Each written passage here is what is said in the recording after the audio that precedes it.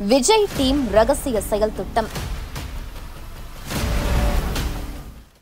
நடிகர் விஜய் அரசியலுக்கு ஆயத்தமாகி வருகிறார் என்பதை மீண்டும் மீண்டும் தனது செயல்கள் மூலம் உணர்த்தி வருகிறார். இருப்பினும் அவரது அரசியல் செயல் திட்டம் என்ன? அடுத்தடுத்த வியூகங்கள் என்ன என்பது போன்ற கேள்விகளுக்கு இன்னமும் தெளிவான விடை கிடைக்கவில்லை.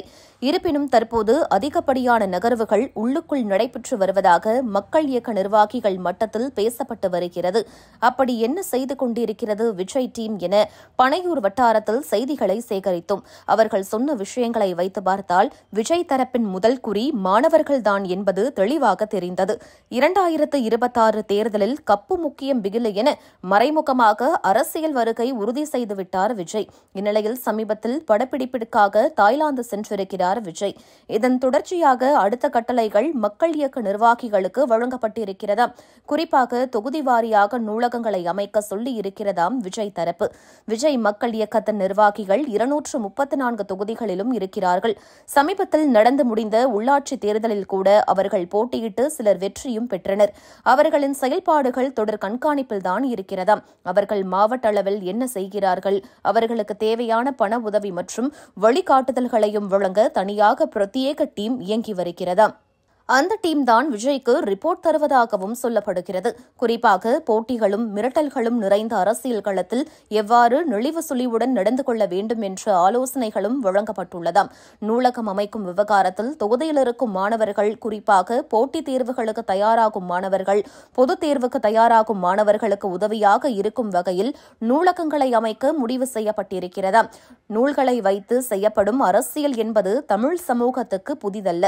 ஏற்கனவே மாணவர்களுக்கு பரிசு வழங்கும் நிகழ்ச்சியில் அம்பேத்கரை படியுங்கள் என விஜய் பேசியதை யாரும் மறந்திருக்க முடியாது.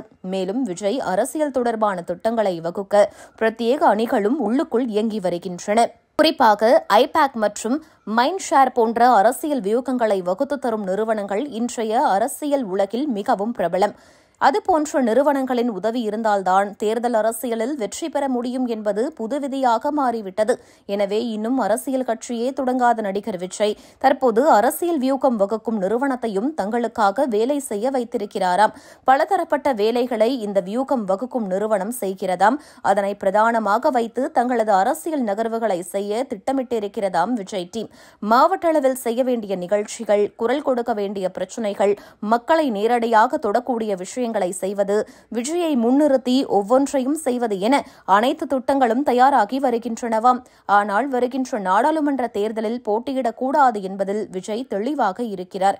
நமது குறி என்பது சட்டமன்ற தேர்தல் மட்டும்தான் என்ற எண்ணத்தில்தான் அனைவரும் செயல்பட்டு வருகின்றனர். அதற்குள் விஜயும் தனது திரைப்படங்களை முடித்து விடுவார் என எதிர்பார்க்கப்படுகிறது.